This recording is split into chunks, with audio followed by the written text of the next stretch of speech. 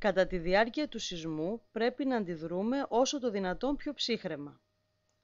Δεν βγαίνουμε έξω από το χώρο που βρισκόμαστε. Απομακρυνόμαστε από μπαλκόνια και τζαμαρίες. Δεν χρησιμοποιούμε σκάλες ή ασανσέρ.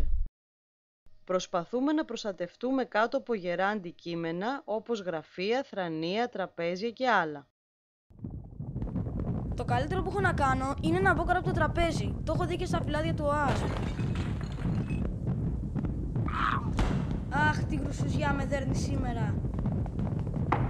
Τώρα πρέπει να κυνηγάω και το τραπέζι.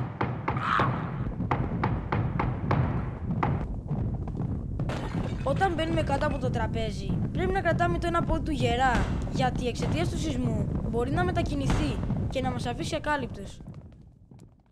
Μόλις σταματήσει ο σεισμός, κατευθυνόμαστε στους χώρους συγκέντρωσης.